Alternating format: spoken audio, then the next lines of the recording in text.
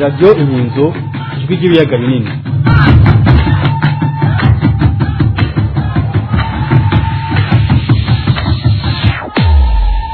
bagenzi namwe bakunzi ba radiyo inkinzo ijwi ry'ibiyaga binini turabaramukije amahoro y'imana. Kaze mu makuru yo kuri radiyo yanyu inkinzo ijwi ry'ibiyaga binini yo kuri uyu wa mirongo itatu na rimwe rusama umwaka w'ibihumbi bibiri na mirongo ibiri na kane. Jewe mwumva kuri mikoro ndi angelize mahoro. Enjeniyeri barakamfitiye diodone ni we ariko aradufasha mu buhinga bw'ivyuma kugira amajwi abashikire atagira akanenge. Aya makuru yatunganijwe na semutungwa yoronimu kaze ingingo nkuru nkuru. Interahamwe za FDLR wazalendo n'ingabo za Chisekedi na Evariste Ndayishimiye basubiriye kwiha ibara mu kurorera abanyagihugu bariko barica bongera baturira. Umunyagihugu ngo nuko avuga ikinyarwanda bamwagiriza ko yafashe ifoto y'abasirikare ba leta ya Kongo ni M23 yamutumye ayo mafoto. Hagati aho kanyabanyonga ingabo za M23 zaraye ziyinjiye. Abasirikare ba Chisekedi nabo bahunga batazambaye biruka baja muri Beni Burundi ibara ryaguye ibisigaye bibera mu ntwaro ya CNDD-FDD biteye isoni n'agahinda. Witwa ko ari umukuru w'igihugu ubuserukizi bwa leta zunze ubumwe za Amerika mu Burundi weruka kumwima uruhusha bitagiza rwo kuja muri ico gihugu ca Amerika. Kubera iki turaja kubibabwira? Mu Burundi kandi buramatari wa Rutana yakubise ikofi prokirere wo muri iyo ntara imbere y'abanyagihugu kuri sitasiyo y'ibitoro. Nta kindi ngo yamuhoye atari uko ngo yariko aramugora amusaba igitoro ngo aje ku kazi. Abakuru biwe bari bamuhamagariye i iyo nyifato iva kuki turaja kubica hirya no hino.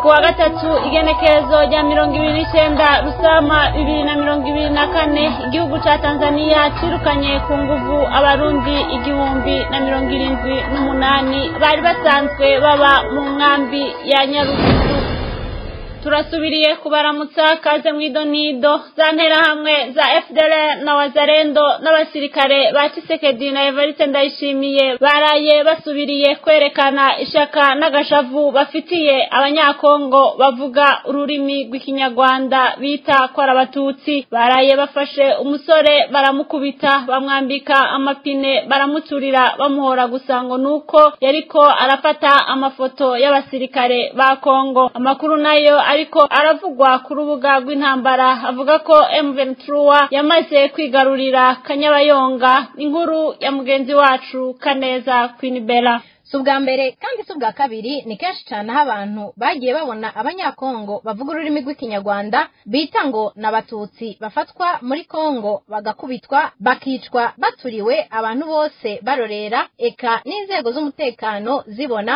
ntihagire icyo zikora. Wogira abatutsi nta kibanza bafise muri kongo umenga si abantu nk'abandi kuki bakomeza gufatwa nk'ibikoko byo kubaga? Hari n'amavideo abantu babonye aho botsa inyama bakarya nka za broshete akamaramaza naho byashitse umusirikare yambaye impuzu z'igihugu ca kongo yorurutswa n'insoresore zanyuzwe n'amacakubiri y'amoko mu modoka irimwo abandi basirikare akicwa bene wabo ntibanarase kandi bafise inkoho. Hari kuwa cenda kigarama ibihumbi bibiri mirongo ibiri na rimwe aho majoro rugererwa kaminzobe joseph w'imyaka mirongo ine n'itandatu yicwa bunyamaswa muri segiteri tanganyika. Uwo nawe yahowe gusa ko afise isura y'abatutsi ko ari intwazangabo yo mu bwoko bw'abanyamurenge. Kuwa cenda munyonyo ibihumbi bibiri mirongo ibiri na gatatu naho kapitene rukatura wo mu gisirikare ca kongo yarishwe urw'agashinyaguro mu gisagara ca goma. Abanyagihugu bamwicishije amabuye kandi yambaye impuzu za gisirikare. Aha nta n'umwe yigeze abuza abo banyagihugu kumwica izuba ryaka. Nta kindi gicumuro na kimwe yari yakoze atari uko ari umututsi gusa. Ejo kuwa mirongo itatu rusama ibihumbi bibiri mirongo ibiri na kane igoma baraye basubiriye kwiha ibara mu kwica umuntu bakamuturira n'amapine. Uwo nawe nyene nta kindi yahowe atari uko bumvise ngo avuga ururimi rw'ikinyarwanda. Ngo yari kumwe n'abandi bariko barafata amafoto y'abasirikare ba kongo bariko bararengana hafi y'ikambi y'abateshejwe izabo ya mugunga. Muri abo bose bari kumwe ni we yishwe urw'agashinyaguro wenyene kubera uko asa gusa. Utwo ni uturorero dukeya dutanze ariko nta n'umwe atazi ko abantu benshi bagiye bafatwa muri kongo bakagirizwa ko ari abatutsi bakicwa nk'inyamaswa. Ibyo biba abantu barorera nk'uko womenga ni ibikino eka n'inzego z'umutekano zirabibona zikabirabira hirya. Nk'uko womenga abatutsi ni nk'inyamaswa zagenewe kwicwa. Ibi nta kindi bituma atari za nyigisho z'ihonyabwoko ry'abatutsi ryatanzwe na za nterahamwe za fdlr zakoze ibara mu rwanda mu gihumbi kimwe n'amajana icenda na mirongo icenda na kane zimaze imyaka n'imyaka muri kongo ubu iyo ngendo y'ihonyabwoko ya fdlr yaramaze gukwira no mu basirikare ba cisekedi n'abanyagihugu ba kongo eka n'abasirikare ba CNDD-FDD Evariste Ndayishimiye yarungitse nabo nivyo bashitse bakora kanatsinda basanzwe bafitaniye imigenderanire idasanzwe na FDLR kuva kera. Amakuru ava Goma anavuga ko uwo musore yishwe ahari n'abasirikare ba Evariste Ndayishimiye bariko bararorera. Nabo nyene ntaco bakoze ngo batabare. Iyi nyifato itegerezwa guhagarara burundu ku kibuga c'intambara naho amakuru atangwa n'ibimenyeshamakuru vyinshi yemeza ko inyuma y'intambara zari zimaze iminsi ibiri zibera hirya no hino ya kanyabayonga ngo ingabo za M23 zoba zaraye zigaruriye ako gace. Ngo ingwano zikaze zari zimaze iminsi zibera mu duce twa birundure na mirangi. Aho naho nyene ingabo za M23 zashoboye kwigarurira utwo duce kwa mirongo ibiri n'umunani rusama ibihumbi bibiri mirongo ibiri na kane zomoyeho abasirikare ba Tshisekedi n'abo bafashanya kugwanya ingabo za M23 bose. Ngo ingwano zihambaye zabereye ku gasozi nduba kuko ngo ni agasozi kameze nka wa musozi wa muremure wahonerako abasirikare ba Evariste Ndayishimiye imbere y'uko ingabo za M23 ziwubomorako ngo ufise ako gasozi kanduba uba ubona neza mu duce twa mushaki goma sake rubaya na ngungu. Biboneka neza ko n'aho ingabo za M23 ziba zitaboneka mu bisagara bimwe bimwe kuba yibereye mu misozi miremire biyifasha kuba idapfa kunyiganyizwa n'ibitero by'amabombe by'ingabo za Tshisekedi ndayishimiye Sadek na Monesco na za Wazalendo aba ntibasiba kwegeranya ibikoho bikomakomeye ngo bagiye gutera ingabo za M23 ariko bagataha bimyiza ibamfu ahubwo ari bo bahatakarije ibintu byinshi. Izi ngwano zabereye muri kanyabuyonga no mu micungararo yayo rwanda tribune yandika ko yarangiye hapfiriye abasirikare ba kisekedi n'abo bafashanya bashika majana abiri na mirongo itatu na bane. Eka no kuri axe masisi mu duce twa mushaki karuba bunyori na rumereti ngo abasirikare ba kisekedi na evariste ndayishimiye na sadeke ejo bazindutse baterayo amabombe menshi. Amakuru ava ku kibuga c'intambara yemeza ko ayo mabombe yatewe mu biraro vy'inka yongera akomeretsa abagore babiri muri mema. Ni ngaha lawrence kanyuka avugira fc m23 ahera yiyamiriza uko kumejagira ibibombe mu banyagihugu kuko atakindi biba bigamije atari ukubica no kubononera ivyabo. Mu itangazo yasohoye kuwa mirongo ibiri n'indwi rusama ibihumbi bibiri mirongo ibiri na kane amenyesha ko abanyagihugu munani bapfuye cenda nabo barakomereka inzu zine zabo zirasambuka kubera ibombe zaguye muri kikuku ngo kuwa mirongo itatu rusama ibihumbi bibiri mirongo ibiri na kane abasirikare ba Tshisekedi nabo bafashanya bose bagiye batazambaye batwara ibikoho bikomakomeye ngo bagiye gukura ingabo za M23 mu duce twa Sake. Eka no ngaha ngo no kubera ingabo za M23 ziba zisanzwe zibereye mu misozi ngo barabavugutiye umuturura ku buryo ngo bataye baromoka ibifaro bibiri M23 irabifata ibindi bine irabiturira. Ibi ntibyabujije umuvugizi w'abasirikare ba Kisekedi muri Kivu Lieutenant Colonel Guillaume Ngike amenyesha kuri radio Kapi ya Monisco ko abasirikare avugira bashoboye gusubiza inyuma ingabo za M23. Guillaume Ngike nawe nyene aremera ko hari ibifaro bya Sadeke bya byarashwe na M23 akanavuga ko hari abanyagihugu bahakomerekeye. Ayandi makuru ava muri Nyirangongo avuga ko aheruka gushikira abasoda benshi bashika ibatayo zine ngo bavuye muri Kivu y'Epfo ngo bafise ibigwanisho vyinshi kandi bikomakomeye.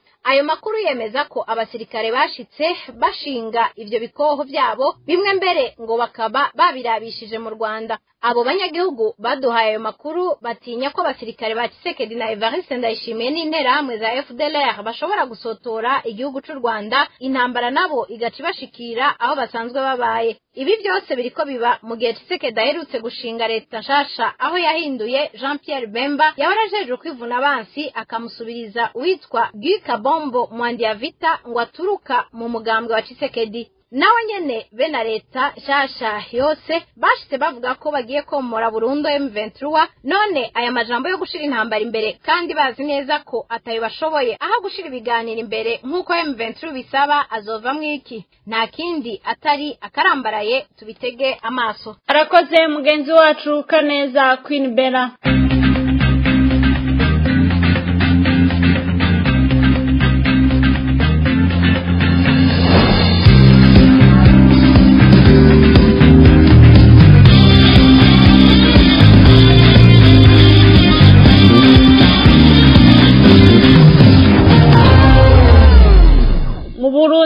Hariko harashika ibintu bitari bwigere biboneka muri ico gihugu. Witwa ngo n'umukuru w'igihugu baramwima visa. Uramatari arakubita prokirere imbere yabo atwara izuba ryaka. Igipolisi kiti ntihagire imodoka zizosubira gutonda kuri sitasiyo ngo zitondera igitoro n'ibindi. None iki gihugu kigiye gukizwa n'iki? Mwiwezo w'uruganda rwo kumenyesha amakuru rwa radiyo inkinzo ijwi ry'ibiyaga binini mushikirizwa na Jean Christophe Mugisha.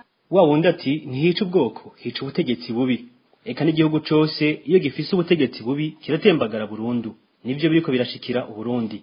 Kandi ico abantu bomenya ubutegetsi bubi burangiza nabi kuko burasuzugurwa bukankwa n'abo burongoye na cane cane n'amakungu. Abarundi bari ku isi yose baraye batangaye bumvise ko Evariste Ndayishimiye ubuserukizi bwa leta zunze ubumwe za Amerika mu Burundi bwamyemye uruhusha bita visa rwo kuja muri ico gihugu. Ngo Evariste Ndayishimiye yasavye urwo ruhusha ngo agende mu nama yerekeye uburimyi. Mu bisanzwe inama nk'iyo ngo ijamwo abatwari bato bato bo muri ubwo bushikiranganji canke bo muri ca kigo izabu kijejwe uburimyi n'ubworozi. Ngo babonye Evariste Ndayishimiye yatse urwo ruhusha ubuserukizi bwa Amerika mu Burundi bwaratangaye kuko nabwo nyene iyo nama ntayo bwari buzi.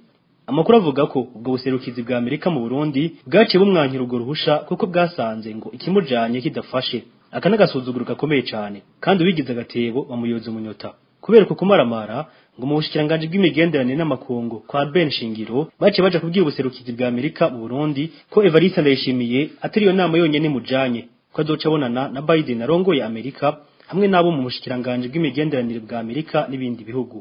Ngo bace babishura ko urugendo nk'ubwo batarufata giturumbuka ko rubanza gutegurwa. Yabuze urwo ruhusha gutyo. Ibi n'akamaramaza kuri Evariste Ndayishimiye asigaye agomba gusohoka igihugu mu mwanya w'abandi bakozi ba leta kugira gusa abarasahura bene umugore wiwe utudurare dukeya igihugu gisigaranye mu banki nkuru. Tubivuge tubisubire Evariste Ndayishimiye n'umugore wiwe. Bari mu basenede FTD baboheye amaboko imugongo abarundi mu gusabura atakinya amahera y'agaciro igihugu gifise. Twarabivuze kenshi ingendo birirwamwo mu mahanga nta na kimwe zinjiriza igihugu n'abanyagihugu. Ico bakora bafata udufaranga igihugu cyo kwikozeko bakuzuza imifuko yabo bakubaka amazu ayandi bakayagura mu mahanga. Ururirimbo ruca rwama ari rwa rundi. Igihugu ntigikenye igihugu gitunze kurusha Amerika n'ibindi. Iyo naho abonye ko byacanganye aca yagiriza abandi ko ari bo bariko baranyonyeza itunga ry'igihugu nk'uko wewe wogira ngo numweranda uyu munsi abakozi ba leta bagenda ku kazi n'amaguru kubera ukubura igitoro. Evariste Ndayishimiye ni we yivugiye ko ikibazo c'igitoro agiye kucifatira mu minwe. Yaciye atora tudorare dusigaye mu banki nkuru y'igihugu ahereza umugore wiwe aja kurondera ibitoro abicishije muri prestige. None ibitoro biri hehe? Uyu munsi abarundi bageze ku ntambwe yo kumva buramatari akubita amakofi. Procureur mu ntara yiwe imbere y'abanyagihugu ngo nuko gusa agiye kumusaba ibitoro kandi atari byo acuruza. Ari ivyo kuja ku kazi ka leta. Birababaje kumva procureur mu ntara asohora amajwi kuri za mbuga ngurukana bumenyi arira avuga ingene buramatari yamukubise ikofi agatemba akavyugwa n'abanyagihugu. Turi mu gihugu citwa ngo iki bwa Burundi bwa Nyaburunga dusanzwe tuzi bwagiye hehe? Iyi nyifato y'inyeshamba abarundi bariko barayirambigwa. Iki cerekana neza ko ubutegetsi bwa Evariste Ndayishimiye bugeze ku musozo n'ingingo zitagira aho zifatiye bufata. Kubera kumaramara kw'igitoro yemereye abarundi yakibuze udufaranga tw'agaciro natwo akaba yaratumaze ariko aramenyereza abarundi ko bokwibagira ivy'ibitoro uwifise imodoka akayibika mu rupangu akagenda n'amaguru ku kazi. Abana bakagenda n'amaguru ku ishure itangazo ry'umuvugizi w'igipolisi nico rivuga. Kubahuka ngo ntituzosubire kubona imiduga itonze kuri sitasiyo bivuga ko atawuzosubira kuja kurondera igitoro. Ngo nibo bazosanga imodoka yiwe yakamye ibitoro ihagaze mw'ibarabara azoca hanwa birateye agahinda. No mu bihugu igitoro kitigera kibura kuri sitasiyo hari n'aho imodoka zihurira kuri sitasiyo ari nyinshi zigatonda umurongo umwanya mutoya. N'abagira ivyo bita pane bete ntibigera babura. Ku kuvuga rero ko atamodoka bagomba kubona zitonze no kubabwira ko atabitoro ko bokwimenya bakagenda n'amaguru. Abarundi bariko baribaza ingene bagiye kubaho badashobora no kushikana. Umugwayi kwa muganga badashobora no kuja gufoba. Witavye imana badashobora no kuja kumara imanza. Ivyo biruko mu gihe bagiye no kubura ivyo bafungura kuko nka vyose biva ruguru mu ntara. Ngira abarundi bagiye kubona neza ko ivyo bababeshe ko banizwe n'intwaro z'abahima. Atari vyo ko intwaro ya CNDD FDD yamaze kubashikana habi habishe aho batigeze bashika muri kahise ku Burundi. Niho twese dukwiye kwicara tukiyumvira ico gukora. Tugume tureze amaboko dupfe nk'abana b'inyoni tubona. Ivy'amoko n'imigambwe CNDD FDD yabivye mu Barundi kugira bacanemwo ngira baramaze kubona ko atari vyo bizobagaburira atari vyo bizobajanira abana ku mashure. Igisigaye ni kimwe gusa. Kwikurako akagwi k'abasended FDD babaheye igihugu amaboko imugongo hanyuma tukarondera indongozi zituje imbere tukaronka amahoro. Umutekano n'iterambere nk'ibindi bihugu. Ikibwirwa n'icumva icerekwa n'ikibona. Arakoze mugenzi wacu Jean Christophe Mugisha.